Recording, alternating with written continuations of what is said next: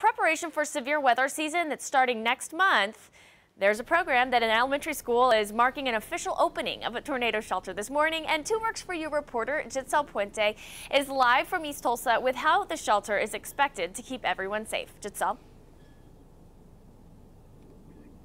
Kirsten, Tulsa Public School officials say this new shelter is tornado proof and large enough to keep more than 600 students and staff safe here at Kerr Elementary School in case of severe weather. This shelter was built on the site of existing classrooms and is about 4,800 square feet. Also, the school is featuring eight new classrooms next to the safe room.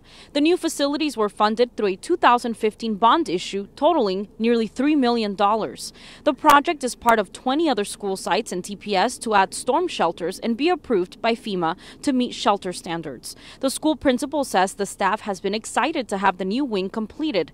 Kerr Elementary School will hold a ribbon cutting ceremony of the new classroom wing and safe room this morning at 9 o'clock. Now, TPS Superintendent Deborah Gist and other district officials are expected to attend that ribbon cutting ceremony this morning.